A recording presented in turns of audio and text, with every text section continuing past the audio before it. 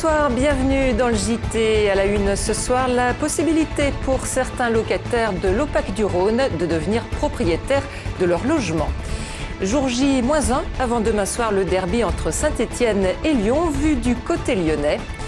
Enfin, présentation dans cette édition de la librairie Coquillette, résolument indépendante. Suite et fin ce soir du procès de Sergio Cerdera, ce maçon du Beaujolais, poursuivi pour le triple meurtre du Malaga. C'était en février 2008 à Saint-Laurent-d'Ouin. Cet après-midi, l'avocat général requis à son encontre 30 ans de prison. On écoute la réaction de l'un des avocats des familles des victimes au micro de David Segal. À l'issue de ce réquisitoire qui est euh, raisonné et raisonnable, 30 euh, années sont réclamées. Madame l'avocat général a précisé qu'elle demandait cela au regard de la gravité des faits et naturellement leur gravité particulière liée aux euh, trois victimes naturellement et à l'acharnement dont ont été victimes deux d'entre elles. Il est certain qu'au regard de ce dossier, ce sont des réquisitions que je trouve adaptées. Et le verdict est attendu dans la soirée. Et puis les magistrats et personnels judiciaires du tribunal de grande instance de Lyon ont voté ce matin la quasi-unanimité la reconduction du mouvement de grève. Il n'y aura donc pas d'audience ou presque d'ici mardi, date de la prochaine Assemblée générale. Les déclarations de Nicolas Sarkozy hier soir ne les ont pas convaincus. Benoît Apparu était à Lyon aujourd'hui. Le secrétaire d'État au logement a notamment visité ce matin la maison Rodolphe dans le 8e arrondissement, une structure d'hébergement pérenne pour les sans domicile fixe. Et si une trentaine de places sont réservées aux familles, la particularité de la maison Rodolphe est d'accueillir tout au long de l'année les hommes seuls, accompagnés de leurs chiens. Une première en France. Benoît Apparu, Alain Mérieux, le mécène de la maison et un sans-abri sont au micro de Leila Kessi. L'idée, c'est évidemment de pousser les centres d'hébergement à accepter les animaux dans des conditions un peu, un peu particulières, pour là encore pouvoir faire rentrer ces jeunes SDF, ces jeunes sans-abri, dans des structures d'hébergement pour les prendre en charge tout simplement. C'est un prototype qu'on lance ici. J'espère qu'il sera suivi par d'autres exemples. Qu'on va essayer, euh, on va s'efforcer d'industrialiser un peu le, procédé pour en diminuer le coût. Comme moi, par exemple, j'ai plus de famille, d'avoir son chien qui, qui représente sa famille avec soi, en sécurité, bien nourri et bien soigné. Euh, c'est euh, une tranquillité euh, déjà énorme. Et puis le secrétaire d'État au logement a signé ensuite un contrat de prêt à taux zéro destiné à ceux qui souhaitent acquérir leur résidence principale. Depuis quelque temps, l'OPAC du Rhône propose ainsi à certains de ses locataires de racheter leur logement, l'argent ainsi récolté permettant d'agrandir le parc HLM, en quelque sorte un échange de bons procédés. Exemple à Vénissieux, Gérald Bouchon. Nous sommes ici dans le quartier Tachevelin, nous sommes entre Moulin avant et le boulevard périphérique et nous sommes chez David qui vient d'acquérir sa maison auprès de l'OPAC du Rhône. Il nous fait visiter. Allez. David, la trentaine, est depuis peu propriétaire. Cette maison, il la connaît du bout des doigts. C'est ici qu'il a grandi. Là, il y a les poules. Là, il y a le barbecue et puis le potager. Au milieu d'un grand terrain, une maison des années 50, un T4, jusque la propriété de l'OPAC du Rhône. La famille de David était locataire depuis 85. David l'a acheté pour 120 000 euros après travaux. Ils ont refait bah, la plomberie, ils ont refait euh, la VMC, ils ont refait euh, la zinguerie, l'isolation, les fenêtres. Les parents de David vont quitter Vénitieux pour le Portugal, laissant au fiston l'opportunité d'acquérir la maison. Pour nous, c'est l'occasion d'offrir à des locataires euh, la possibilité de devenir propriétaire. Alors bien sûr, ceux qui le souhaitent. Et ceux qui le souhaitent, souvent, ce sont des, euh, ceux que nous mettons en vente. C'est souvent plutôt des maisons individuelles que du collectif. Ce sont des logements dans lesquels les gens habitent depuis très longtemps. Quand nous mettons euh, des logements en vente, les locataires occupants sont absolument prioritaires. S'ils ne sont pas intéressés, ils peuvent en faire bénéficier leurs enfants ou leurs petits-enfants. L'OPAC du Rhône va désormais mettre en vente 300 logements par an, soit 1% du patrimoine de plus de 10 ans, ce qui permet aussi de construire de nouveaux programmes.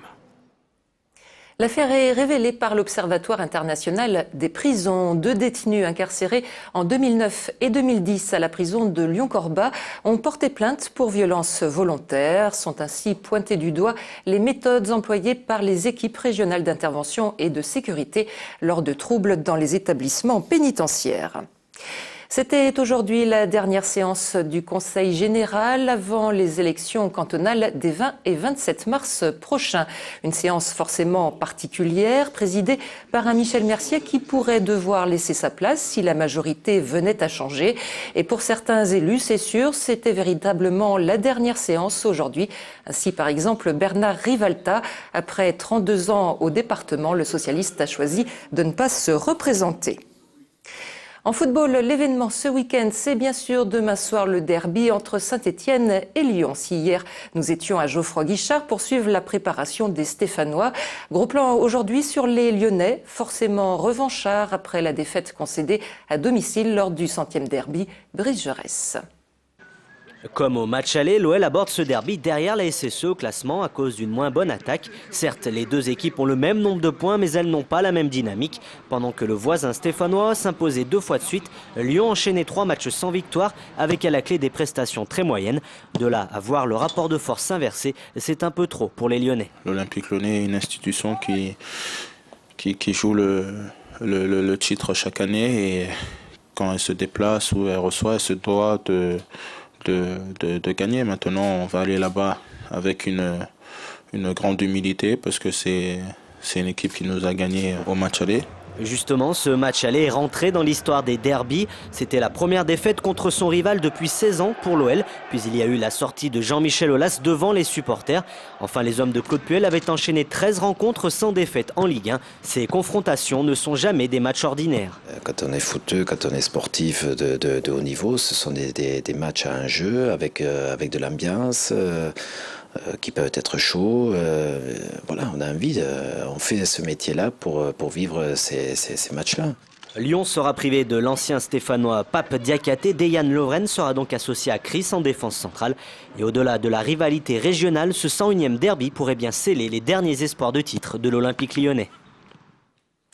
Et puis l'autre événement ce week-end, c'est bien sûr la 25e édition de la Fête du Livre à Bron, un rendez-vous incontournable pour qui aime les livres, d'autant plus qu'une cinquantaine d'auteurs seront présents sur l'hippodrome de Bron-Paris jusqu'à dimanche soir. Chez Coquillette aussi, on aime les livres et pas qu'un peu. Cette petite librairie du premier arrondissement cultive sa différence. Le propriétaire se veut résolument indépendant, voire carrément militant, et propose désormais à ses clients de participer au financement du fonds de commerce grâce à un système d'abonnement inédit. Arnaud Fora. Il y a des librairies où lire est une affaire de coquillettes et de jambon. J'ai un rapport au livre qui est euh, celui que mon boucher a avec le jambon euh, euh, à l'os persillé, vous voyez. et je ne me vois pas vendre ici, si j'étais boucher, du jambon polyphosphaté sous vide. Daniel est un libraire indépendant et on l'aura compris, militant, loin des best-sellers. Sylvie Aymar, c'est son troisième roman. Donc c'est le type même des, des livres qui, si, si l'on suit le système, ça part directement au pilon trois semaines après. Alors lui veut prendre le temps de défendre des livres, un argument commercial pas vraiment du genre à donner envie aux banques d'investir dans la littérature.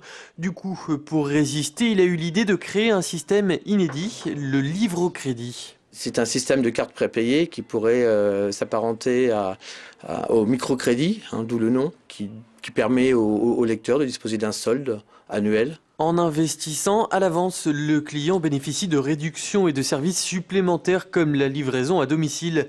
Lancée depuis une petite semaine, 15 000 euros ont déjà été récoltés et la librairie y a gagné encore un peu plus en indépendance. La littérature, euh, oui, c'est du militantisme. Je pense que si on continue comme ça, on va, euh, on va directement dans le mur. Euh, comme la paysannerie est dans le mur euh, dans les années 70-80. Son système de livre au crédit pourrait d'ailleurs bien faire tâche d'huile. D'autres librairies semblent déjà intéressées. Et c'est la fin de cette édition. Très bonne soirée sur TLM.